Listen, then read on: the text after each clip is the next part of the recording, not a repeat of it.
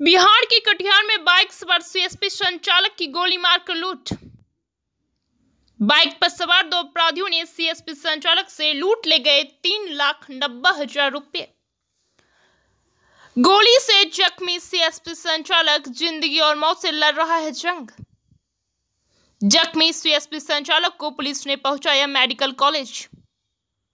रोशना बाज़ार का सीएसपी संचालक अमित कुमार आईसीआईसीआई कटिहार बाज़ार शाखा से रुपए निकालकर जा रहा था घर।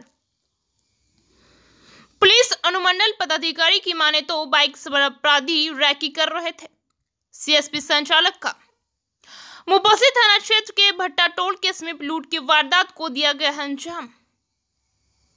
लूट से पहले और लूट के बाद सीसीटीवी में कैद हुई तस्वीरों से अपराधियों की हो रही है शिनाख्त।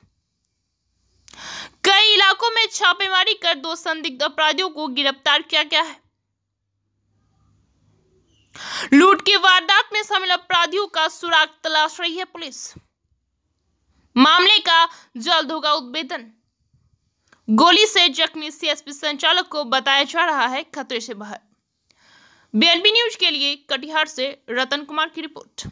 और इस संबंध में उनके द्वारा यह भी बयान दिया गया है जो ग्राहक सेवा केंद्र के अतिरिक्त वह इंडिया वन एटीएम का काम भी हफलागंज और रोशना बाज़ार में करते थे।